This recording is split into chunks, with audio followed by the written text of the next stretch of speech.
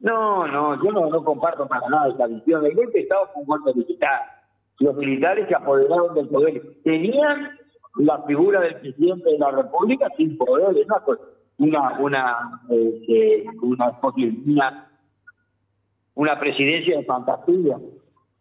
El, el mando estaba en la en el Cuchena y en la comandancia de, de las Cruz Armas es decir, todas las decisiones que se tomaron en cualquier materia, materia política económica, los militares ocuparon cargos de la conducción de las empresas públicas, en, embajadas, en representaciones diplomáticas, ocuparon la mayoría de los cargos este, interesaban a sus efectos para llevar adelante la política, eh, dictaban los, los, este,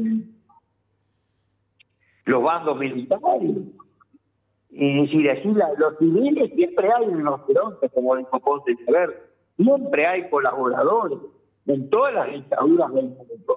Siempre ha habido civiles que han colaborado, lo cual no quiere decir que mataran, mucho menos. Era una fachada que pretendía tener ciertos síntomas de, civilización política, pero no era el poder, estaban las Fuerzas Armadas, los comandantes, el jefe de las Fuerzas Armadas era los que dirigían el poder. Así que el golpe fue un golpe militar estrictamente militar.